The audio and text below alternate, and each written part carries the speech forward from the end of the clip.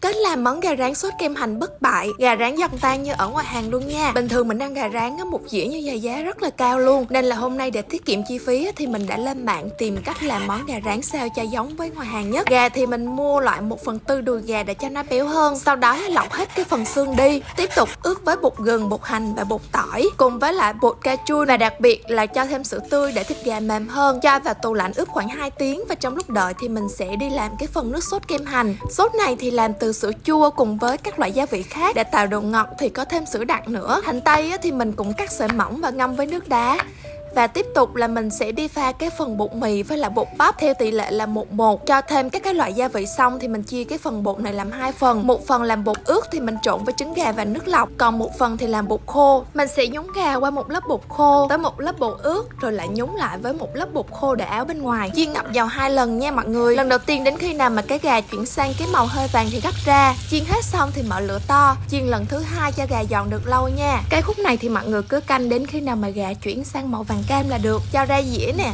thêm hành tây, rồi rưới thêm sốt kem hành lên trên. Là đã có một dĩa gà rán kem hành thơm ngon rồi. Bạn nào mà thích ăn gà nhưng mà muốn tiết kiệm như mình á thì có thể tham khảo cái công thức trong video này nha.